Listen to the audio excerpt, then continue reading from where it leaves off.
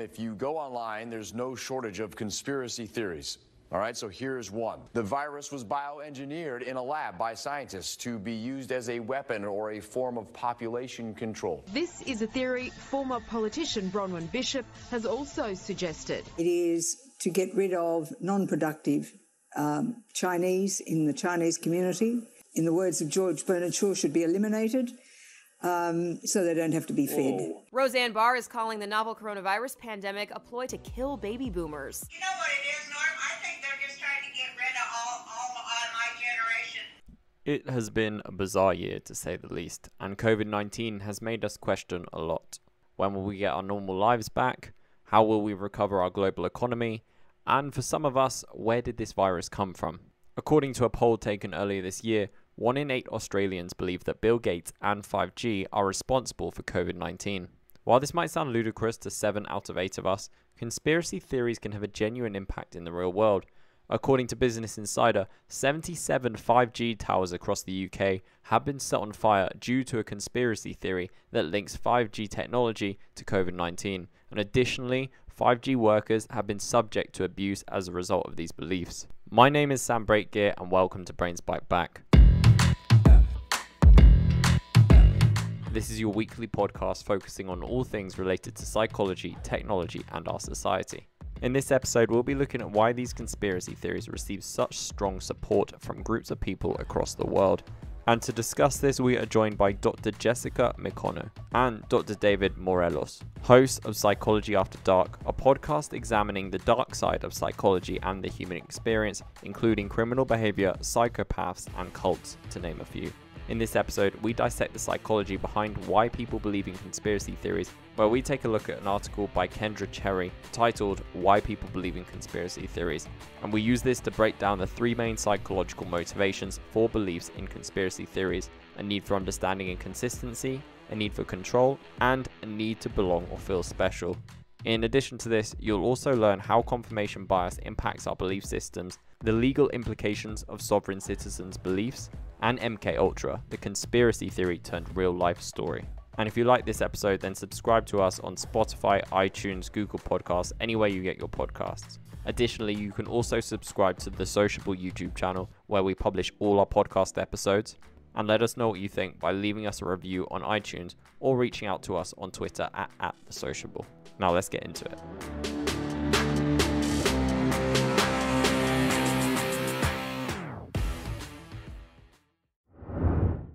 Sam, if Bill Gates was down to his last dollar, what would he spend it on?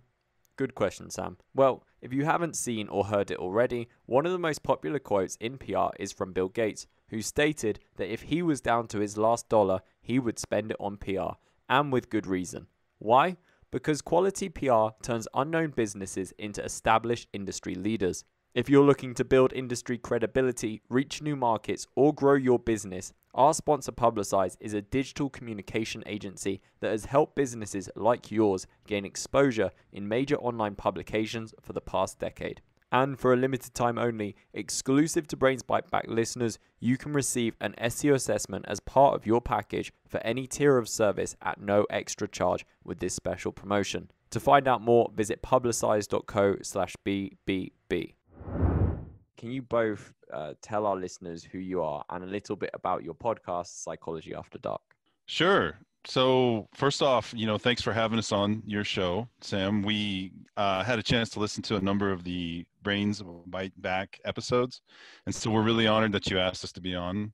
Yeah, Psychology After Dark is a pet project um, from Jessica and myself, and that we thought would sort of be a cool way on pop culture phenomena that we both personally find interesting. So Jessica is a trained psychologist. She works in forensic psychology, which is the area of psychology that intersects with criminal and civil legal systems. She's a licensed and clinically trained psychologist who brings the professional and informed perspective to our podcast, if you notice that, and um, how psychological knowledge can help us understand the different events and phenomena that we talk about on the podcast. And as for myself, I'm sort of like a, a, kook, academic kook, I call myself, who developed an interest in something known as transpersonal psychology. uh, which is a field of inquiry that looks at events and elements of the uh, human experience that are generally left out by mainstream psychology. So this includes things like uh, human consciousness and potential spiritual experiences, near-death experiences, uh, use of psychedelics, and that's just a few of the things that the transpersonal movement really looks at. It was born out of the 1960s human potential movement um, and was heavily influenced by theorists like um, William James, Jung, um, American transcendentalists like Ralph Waldo Emerson, who attempted to uh, use Eastern wisdom traditions as a way to inform contemporary psychology. Um, so thanks so much for having us, Sam. Um, so you know, for for Psychology After Dark, the, our podcast, we thought it would be interesting to bring two very different perspectives to bear on a number of dark topics that we both personally found interesting but not necessarily focus on, for example, whether aliens do or don't exist. I mean, there are hundreds of shows and books and movies that deal with that question, right? Mm-hmm. So, you know, rather we focus on the psychology behind what these phenomenon can and do bring to the human experience. So, some of the topics we've covered so far include things like alien abductions, serial killings, and conspiracy theories, which we're going to be talking more about today.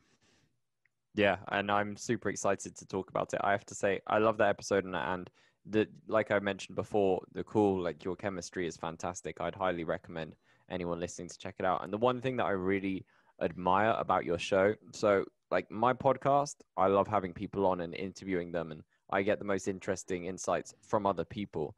But one thing that I can tell from your podcast is that you you you come to the table with everything, and you come to the table with so much knowledge and research and it's so evident that this is something that you're both so passionate about. So i, I really admire that and i'm glad to have your knowledge on this show and i think that uh, yeah you you make a, a really good podcast so it's great to have you here. By all means the pleasure's all mine. And as you mentioned we will be looking at conspiracy theories because i had to listen to that episode and i absolutely loved it. I was so gripped and i really wanted to dissect what you discussed so if anyone's listening, I definitely recommend they go out and perhaps listen to that episode before this one. But by all means, like I, I want to get into it. And on your show, you referenced an article from verywellmind.com titled "Why People Believe in Conspiracy Theories" by Kendra Cherry. Um, from what you discovered in that article and your own knowledge, I'd be interested to hear your perspective on why you believe people believe in conspiracy theories. David, maybe if you want to start, and then Jessica, if you want to follow. Yeah, I just wanted to say that I really liked the the Verywell Mind article by Kendra Cherry. I thought it was very well researched as it related to the meta analysis that was also referenced on our uh, podcast episode, and uh, I think that the reasoning uh, that Cherry cited in the article really resonated with me. That there are different needs that are satisfied by the belief in a conspiracy theory, um, and that there are a lot of boxes that sort of need to be checked off when we're looking at conspiracy theories in terms of people devoting intellectual and emotional energy into them. So, as Cherry referenced in the article, there tend to be three very distinct needs that can be satisfied by the belief in a conspiracy that being a desire to understand how the world or events work. That's the epistemic need a desire to bring order and control to our lives, uh, or what we call the existential need. And lastly, the desire to feel that we belong and fit into some kind of group or social need. So that made a lot of sense to me. For for me as a transpersonalist, I would also uh, sort of look at the bigger picture, including how all these reasons play into our need to create meaning in our lives. You can take a well-known conspiracy theorist um, like Alex Jones, who is a you know a very well known public figure here in the United States, mm. and sort of speculate that he really believes that he is fighting a good fight. You know, perhaps defending freedom or democracy or the American way or or whatever. But his actions are so passionate, I would argue, because they are a tremendous part of how he creates meaning for himself in this world. So I'm not saying that that's good or bad, but we seem to find that many people need to believe in something whether it be protecting the planet or something that's much darker, as we've seen a lot here in the United States, which is this issue of white supremacy, um, in order to create some kind of meaning for their existence on the planet. And this can include thoughts about what we are going to leave behind after we die. and our desire to stand out in the crowd, so to speak, in the midst of hundreds of millions of people who are all trying to do the same thing. So, all these reasons, I think, play into a feeling of powerlessness that many of us feel while watching large scale events play out and knowing there is really nothing we can do about them. It somehow feels empowering to think that we know, and I put the term know in quotes, mm. um, even though what we think we know is not truly rooted in any kind of credible evidence. I think feelings of powerlessness can lead people to do a lot of very strange things. So I know for me, I often try to understand behavior through this lens. This is a lot like the Buddhist idea that violence is a manifestation of suffering. So, how do we understand the suffering of people? I think that if we can do that, we can understand a lot of their irrational behaviors.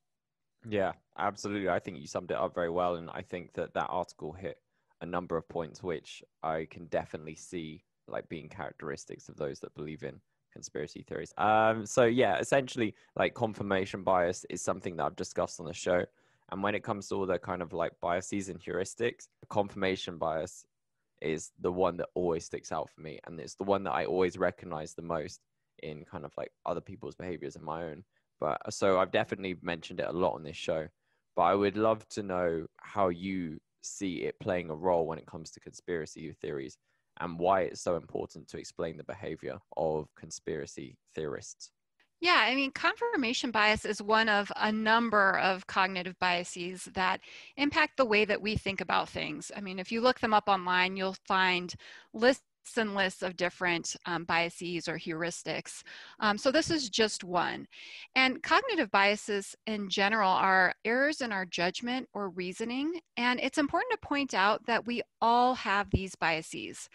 It's part of human nature and likely related to our brain's tendency to try to simplify things. They can almost be thought of as shortcuts in our thinking, but because we're not taking in all of the available information, they can often lead to distortions in our thinking. So, as I said, there are many, many types of cognitive biases, but confirmation bias appears to be really at play when we're talking about conspiracy theories.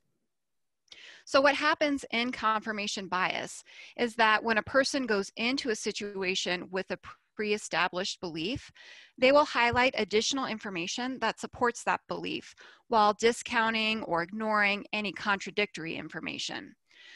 So, for example, if a person believes that coronavirus is a mild illness and that the government is inflating this illness to induce fear and compliance, they'll be likely to put more weight on articles or tweets or whatever that tells of people who are like asymptomatic or people who are only mildly ill or articles that say that masks and social distancing don't reduce the risk of infection. And those same people will be more likely to skip past stories about severe illness, long-term complications, or the overload of the healthcare system. Or if they do read these stories and articles, they may dismiss them as fake, inflated, or even written by someone who's ignorant or quote unquote in on the conspiracy. So confirmation bias is problematic because it can lead us to ascribe less importance to information that could be critical in helping us have a full and informed understanding of an issue. And again, I, I just want to emphasize that we all engage in confirmation bias from time to time.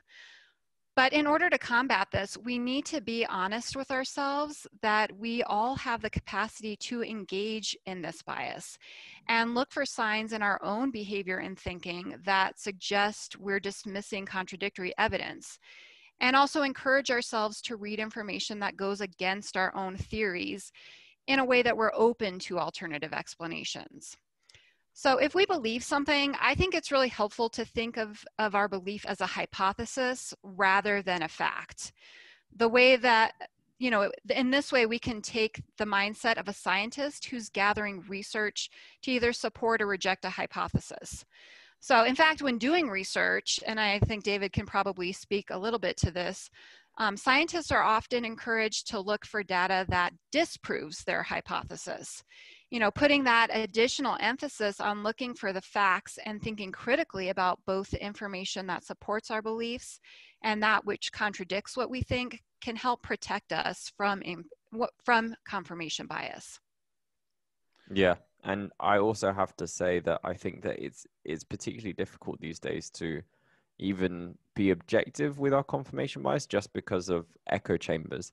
And we all fall into them to some extent because, of course, if you have a Twitter account or Facebook or whatever kind of social media you're on, you're naturally going to follow stuff which interests you and stuff which you kind of want to see. And I feel that it's easy to fall into a sense of confirmation bias when you're selecting kind of like the the content that you you see in front of you I absolutely agree. I, I think that in order for us to get out of that echo chamber, we have to actively look and look for and read things that go against what our preconceived notions are. And that can be difficult to do. It, it's kind of like that extra step that we have to take. Yeah, definitely. I, well, first of all, I have a family member that is a, a very different political opinions of myself, but I love him and um, we we're very close in every other aspect. So definitely he challenges me in that sense, and I try and challenge him there. And going back to the point you first made about the reasons why people believe in conspiracy theories, David, when I was listening to that, I have a, a couple of family members. Another one actually uh, strongly believes in them, but again, he's a wonderful guy. I love him, and uh, we have a great relationship. And uh, it was actually quite interesting because, yeah, when you were describing the the characteristics and their needs to fit in, I've always seen that. I've always thought of that as a, an aspect. It's almost kind of like a club, especially for like the flat earth theorists, those that believe in that, from what I see anyway. It's almost like they feel like they're part of an exclusive club or they're like they know something that everyone else doesn't. But you did actually pick out a really interesting quote from the article stating people who are not as analytically inclined have a less tolerance for uncertainty. This in turn leads to conspiracy theories as people grasp explanations for things. Now, I think you did a really good job of highlighting the fact that, and I want to do the exact same, that we're not saying in any way if you don't have a formal education, then then you you are you did a fantastic job of wording it. But what we're trying to say is we're not trying to be elitist here. Right. Formal education aside, do you see a way to remedy this lack of tolerance for uncertainty among groups of conspiracy theorists, potentially allowing them to become more analytical? Yeah, just just real quick, I wanted to jump back to that to the point you made about the social sort of ramifications about being in the like the in crowd. You know, I mean, even people who do formal research have to be on guard for this type of bias all the time. I was thinking about it in reference to pursuing a PhD and having to go through the whole research process, including addressing a number of different concepts, uh, things like reflexivity, um, which is the constant evaluation and acknowledgement of personal perspectives that you bring to bear uh, in your own research. There was something I had to deal with called triangulation um, and peer de- debriefing, which is a way for outside observer to offer unbiased feedback on your research methods. And these are all things that you know even the most uh, educated people have to constantly be on guard with because the the desire and the tendency to want to be in a social sort of um, collective you know where people who have the same values uh, that you do and you feel comfortable with them and stuff it can be so powerful that you could be engaging in bias without even knowing it. And so it, it's just sort of a, an interesting thing that even you know people who would do this professionally at the highest levels and create research uh, studies and stuff like that still have to be very conscious all the time of their own personal biases that they're bringing to the study. Yeah, no, I, I wanted to get back to you. I just wanted to answer your question about, you know, ways that we can kind of encourage people to become more analytical mm. and be less likely to engage in conspiratorial thinking. And, you know, there was actually a very interesting study that was conducted by Whitson, Kim, Wang, Menon, and Weber, which appeared in the Personality and Social Psychology Bulletin in 2019. And the study was entitled Regulatory Focus and Conspiratorial Perceptions The Importance of Personal Control. And the researchers acknowledged that while there are certain characteristics, including things like educational attainment and certain kind of um, inborn personality traits that are associated with believing in conspiracy conspiracies, um, and those things are all difficult to change. There may other there also may be other factors that are more malleable that can either reduce or increase the likelihood of, of one believing in conspiracy theories. And Whitson et al. believed that a sense of personal control was one of those factors, um, since we do know from other research that a feeling of lack of control has been shown to be an antecedent to conspiratorial thinking. So this hypothesis was based on regulatory focus theory, or RFT, which suggests that those who are more what they called promotion focused strive to do all that they can to achieve their goals, while those who were more what they called prevention focused spent their energy and their time just trying to protect what they already had. So the researchers believed that those who were more promotion focused would have a greater sense of control over their lives and therefore be less likely to believe in conspiracy theories. And their research actually consisted of three different experiments. Um, so during the first experiment, they had participants engage in writing activities that were designed to either increase a promotion focused mindset or increase a prevention focused one. Um, and then they had a control group where they just had them write about something neutral. And then they had the participants rank how much they believed in certain cons conspiracy theories. So in the second experiment, they had um, US military servicemen answer a questionnaire assessing their level of promotion versus prevention focus. And then they had them again rank how true they believed certain conspiracy theories were. And what was interesting, so in the first two studies, the results showed a significant negative correlation between those who were more promotion focused and the belief in conspiracy theories, meaning that the more promotion focused they were, the less likely they were to believe in these theories.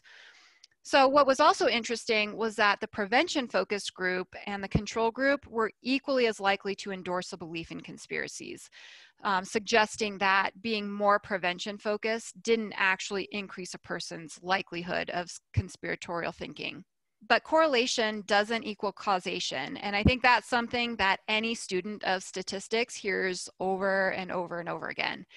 And so, with just the information from those first two experiments, the researchers couldn't confidently state that the decreased belief in conspiracy theories was because people were more promotion focused.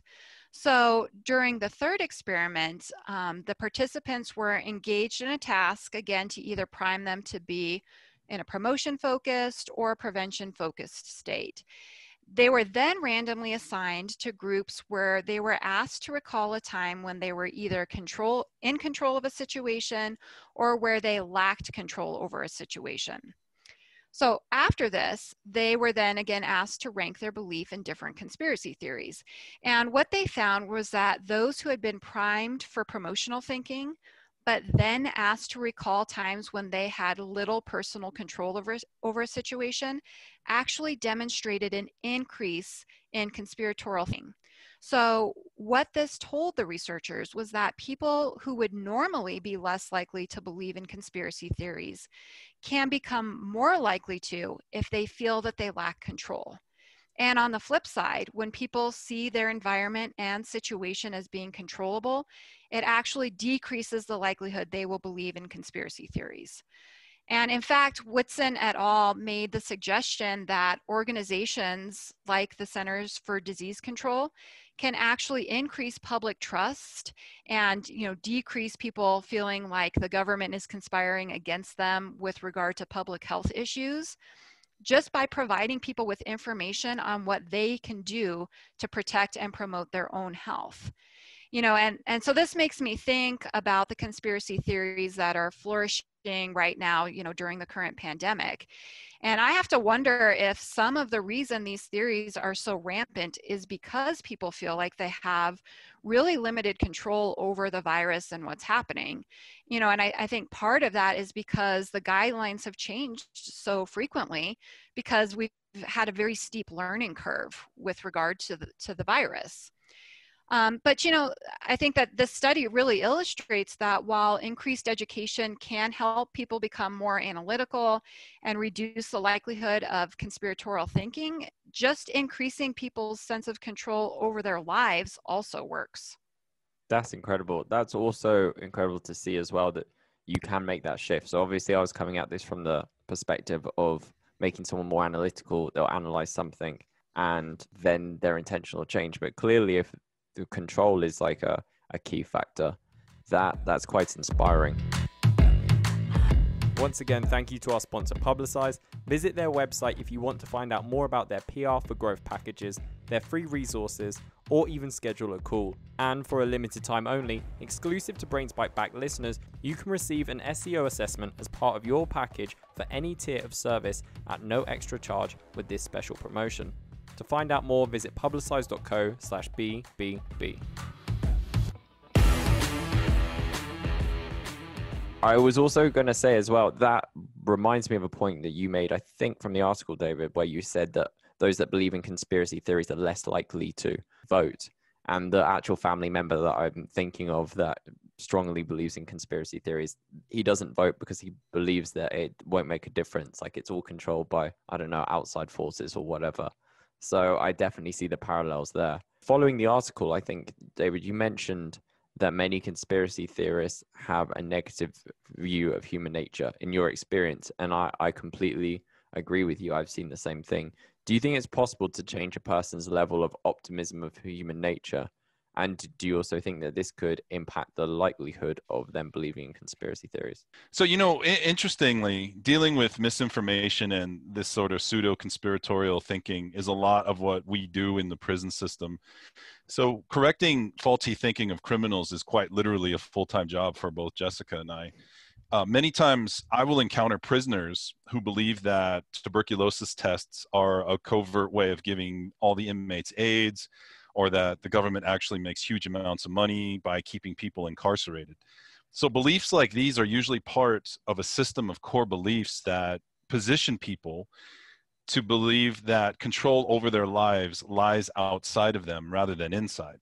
Something that I have to wrestle with a great deal in my work with prisoners has a lot to do with learned helplessness, which is something that I personally think will become more important in the prison reform as time goes on this concept was developed by Martin Seligman and Stephen Maier uh, back in the 1960s and essentially suggests that people with external locus of controls will tend to blame their life circumstances on things outside of them rather than own responsibility for managing their life through sound decision making.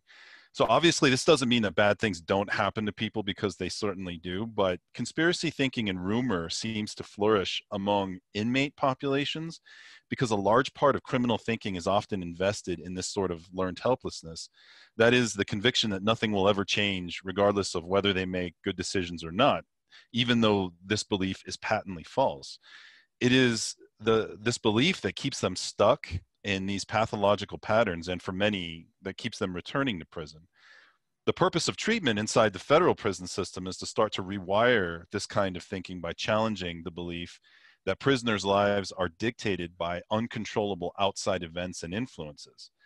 So, as the prisoners start to combat their learned helplessness, they learn and develop an internal locus of control, or something Seligman and Maier called learned optimism, which is the idea that they can affect positive change in their lives, however small, by making rational and informed decisions. So when the inmates start to do this, like clockwork, they stop being invested in these conspiratorial beliefs or believing that powers that are out there are against them, and they start focusing on how to create a better life for themselves in the here and now. So, in effect, they become less affected by things they can't control and they start to focus on what they can control, giving them the opportunity to take back their power, so to speak. That's that's impressive, and it's especially because like you've experienced this. You, I mean, obviously you were talking about a study there, but like in your own experience from from the work that you do, you you've seen this and witnessed this, right? Yeah, absolutely. Absolutely. I think it's a big part of what I do professionally. I work in substance abuse treatment with federal inmates inside of a federal prison and breaking down these ideas is the single biggest and most important part of that i would say. Yeah so what's interesting you know we're talking about optimism and and david was kind of talking about working with um, with people inside of prison with inmates. And, you know, what we know about optimism is that, you know, about 25% of how optimistic or pessimistic a person in is is heritable. But that means that 75% it eh, are is affected by things that we have some control over so you know one of the ways that we can train ourselves to be more optimistic and one of the things that we do with the inmates is that we we help them learn how to monitor their thinking and how to counter particularly negative and pessimistic thoughts with more positive and optimistic ones. And you know the trick here is that the thoughts have to still be realistic. They can't be so pollyanna-ish that you know they don't believe them and so this is really the basis of cognitive behavioral therapy. Um, and so that's a very popular type of therapy. You know, most people will refer to it as CBT.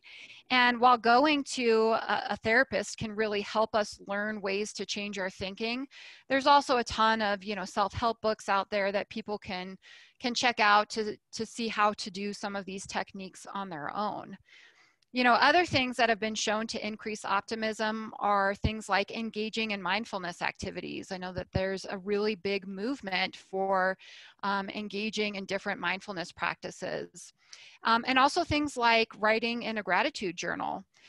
So we we also want to be aware of who we surround ourselves with. You know, I think everyone's heard the saying "misery loves company," mm. and I, I think that that's really true. You know, generally people will respond in kind to the emotional states of those around them, and if we surround ourselves with people who are generally pessimistic, who um, you know are always kind of looking for this conspiracy going on, it can also affect our own sense of optimism. And I think it's important not just to spend time with optimistic people, but also to remember that our own attitudes affect those around us as well. So, you know, by being more optimistic ourselves, it encourages others to be that way as well.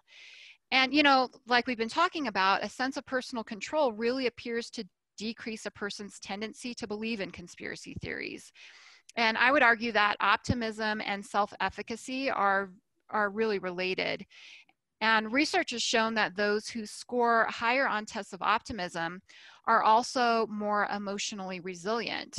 And one aspect of resilience is an internal locus of control, just as David was discussing, you know, meaning that we feel that we are basically the drivers of our own lives.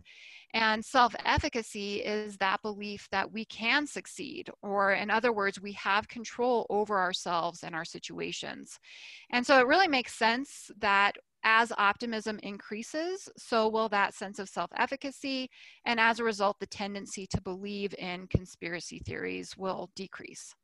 So I wanted to also just throw it uh, a reference back to one of the your podcast episodes. Um, mm-hmm about the one about teaching children problem solving skills through video games. Ah, yes. Yeah. Yeah. Great, great episode, by the way. And I started thinking about that.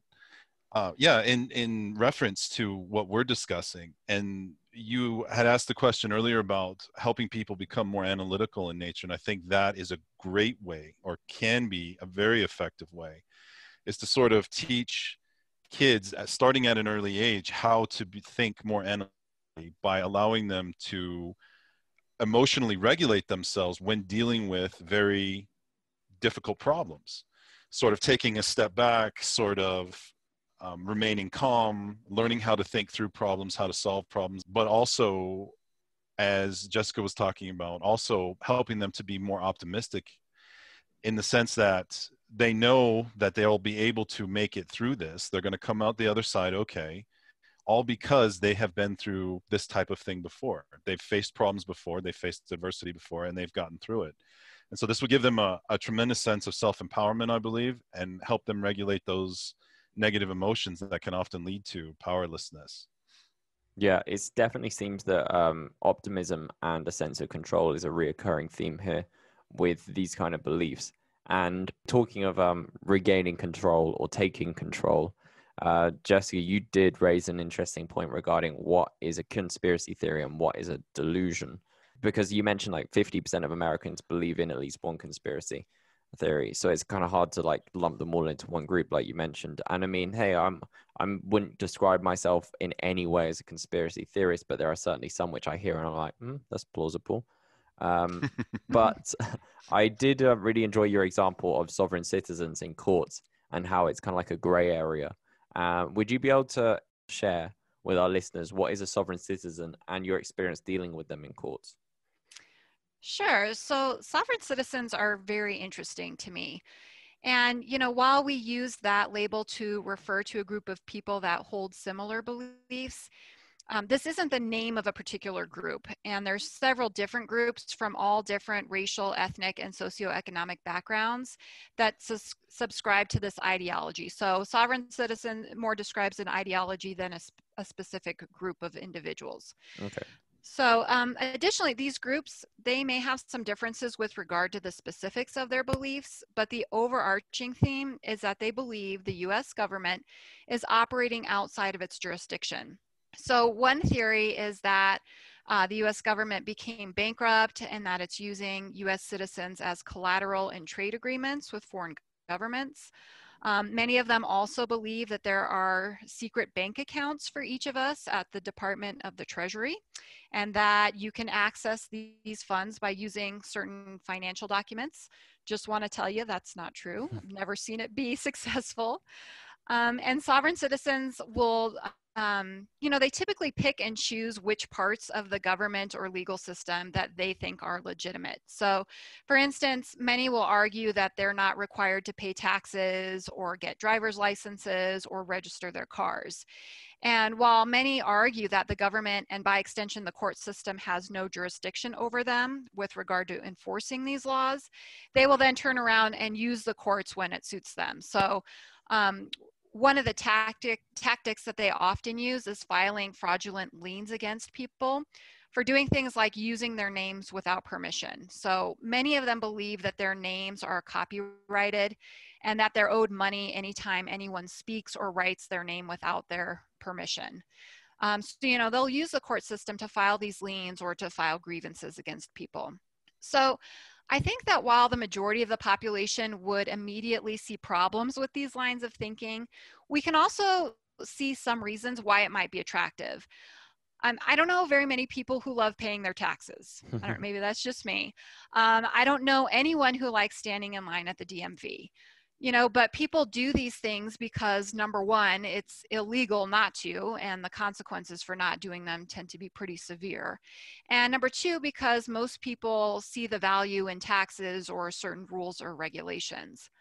You know but some people think that the battle's worth it for the chance that they won't have to do these things or because they really believe that these things are unjust now, you can imagine if you were in court and you're telling the judge that he or she doesn't have jurisdiction over you, or you're refusing to even participate in the legal process, that can be very problematic, um, especially in the context of criminal legal proceedings. So, sovereign citizens tend to be pretty steadfast in these beliefs. And as with many conspiracy theories, the subscribers will dismiss a lot of contradictory information. So, in the United States, we have a lot of rights during criminal proceedings, including the right to consult with an attorney, the right to present evidence of our innocence, and to confront our accusers. So, if someone isn't participating in this process, it can raise concerns about their mental health. And US laws prohibit the trial of an incompetent defendant. So there was a landmark Supreme Court case in 1960 called Dusky v. U.S., which set forth the requirements for a defendant to be considered competent to stand trial. And if you're interested in mental health law, it's a great case to look up. But the gist is that for defendants to be competent, they have to have a factual and rational understanding of the nature and consequences of the proceedings against them, and they have to have the ability to consult with their attorney. Um, and I think we would all are we would all agree that it would be pretty unfair to try someone with a mental disorder that impairs these abilities. So in the federal system where I work, there only has to be a bona fide doubt about a defendant's mental health in order to trigger a referral for a competency to stand trial evaluation, which is by far the most common type of evaluation ordered by the courts. And a bona fide doubt, that's a pretty low threshold. So you know, it makes sense that when lawyers or judges encounter individuals who subscribe to sovereign citizen beliefs, um, you know, which to most of us sound pretty illogical, they would want the person assessed further to see if it's related to a mental health disorder or if it's rather what we call an extreme overvalued belief that's held by a number of individuals. Now, to be clear, there are some people who subscribe to sovereign citizen ideology who also have a mental illness, but the majority don't. And the belief in this conspiracy theory, in and of itself, is not a mental illness you know, in fact, the Anti Defamation League estimates that there are more than tens of thousands of people who subscribe to these beliefs. So, you know, it's it's more common than maybe it would seem at first blush. And if you've never encountered an individual that has these beliefs before, um, they can sound pretty out there. Um, but that really is the distinction between a delusion and an over extreme overvalued belief is the number of people who also believe the same thing um, and that's really what makes sovereign citizens, it's not a delusional belief, it's just another conspiracy theory. Yeah, I think that was a fantastic way of summarizing how a lot of it can be down to like perception, or it's a, it's a it's a fine line between someone believing in conspiracy theory and someone being delusional, or or yeah, it's, it, it's complicated. It's complex. Actually, you mentioning that, I'm not sure if this is true, but I think it's Wesley Snipes, the guy that played, is famous for playing Blade in those right. those movies. He was part of a religion where they believe something like that, like you're not a citizen of a country. And I know that he went to jail for tax evasion, and that was the reason I think because he was part of like something which sounds like a sovereign citizen um, group. So so yeah, I can definitely see how it's probably more prevalent than we might expect in society. Yeah. Yeah, that's a great example. He's probably one of the most famous um, examples of a, an individual that subscribes to this type of ideology. Yeah. So finally, this is my last question, and it's going to be a hard one to summarize because I know you dedicated a whole episode to it, and you briefly mentioned this conspiracy theory turned like real life story, uh, MK Ultra, on your conspiracy theories episode. So yeah, I know you have a whole episode dedicated to this that our listeners can go check out. Uh, definitely should do that. But can you briefly explain what this is and what happened there for anyone that doesn't know about it. Yeah, so this is one of those conspiracies that actually turned out to be true. Back in the 1950s, there was uh, an inf- officially sanctioned program through the Central Intelligence Agency here in the United States where they started experimenting on citizens, basically. They wanted to figure out a way to try to brainwash and control people uh, essentially hopefully turning uh, capturing spies in order to use them during the cold war and turn them. You got whole episodes that are dedicated to this. So if anyone is listening and want to learn more that's definitely the place to go. I think also it's kind of nice to conclude the episode with i don't know it's interesting to finish the episode with one which actually turned out to be true. Right. So yeah on the topic of checking out that episode if people do want to follow Psychology After Dark or keep up with the work that you're doing, either on like your social media or any websites you want to point them to, how can people do that? Um, so yeah, we're available on all of your normal podcast applications. Um, you can also find us online on our website at psychologyafterdark.com. And you can find us on social media on Facebook and Instagram at Psychology After Dark. Awesome. Fantastic. David, Jessica, thank you so much for joining me today. Thanks so much for having us, Sam. Yeah, had a great time. Thank you, Sam. That is our show. Thank you for listening. I hope you enjoyed it and I hope you learned something from it. If you like conspiracy theories and there's something you're genuinely interested in, they are a reoccurring topic here at The Sociable. So you can go to sociable.co to find them and you can also find all our previous episodes of Brains Byte Back up there. Additionally, you can also subscribe and follow us on any of your favorite podcasting platforms. We hope you join us again, but for now, have a wonderful day.